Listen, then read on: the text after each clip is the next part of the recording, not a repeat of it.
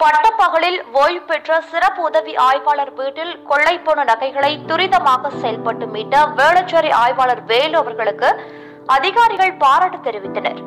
சென்னை வேளச்சேரி லட்சுமி நகரில் ஓய்வு பெற்ற சிறப்பு உதவி ஆய்வாளர் தேவராஜ் தனது குடும்பத்துடன் வசித்து வருகிறார். கடந்த பனிரெண்டாம் தேதி உறவினர் வீட்டிற்கு சென்று மாலை வீடு திரும்பிய போது வீட்டின் பூட்டு உடைக்கப்பட்டு பீரோவில் இருந்த நாற்பது சவரன் தங்க நகைகள் மற்றும் வெள்ளி பொருட்கள் கொள்ளை போயிருந்தது கண்டு அதிர்ச்சியடைந்தார். பிறகு வேளச்சேரி போலீசாருக்கு தகவல் அளித்தார். தகவலின் பேரில் சம்பவ இடத்திற்கு சென்ற வேளச்சேரி சட்டம் ஒழுங்கு ஆய்வாளர் வேலு ஆய்வு மேற்கொண்டு கைரேகை நிபுணர்கள் உதவியோடு கைரேகைகளை பதிவு செய்து அங்குள்ள சிசிடிவி காட்சிகளை கைப்பற்றி தங்க நகைகளை கொள்ளையடித்த கொள்ளையர்களை தேடி வருகின்றனர்.